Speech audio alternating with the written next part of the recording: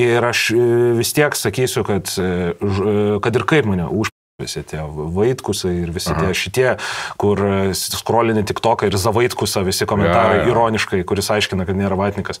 Ten nuo, ž- nuo mūsų ta demokratija ir mano savijauta atrodo turi leisti gyventi bet kaip, bet kam. Ir aš, kaip mokesčių mokėtojas, pinigų, kaip, kaip žmogus, kuris nebenori vapšėto sovietinio chlamo pas mus, e, kažkaip juos gaudyti ir šaudyti ar ten dar kažką daryti, nenorėčiau. Ne, bet tu nesupratai klausimo, jos gaudyti ir šaudyti reikia ne dėl to, kad jie vatnikai, o dėl to, kad jie šūdai yra.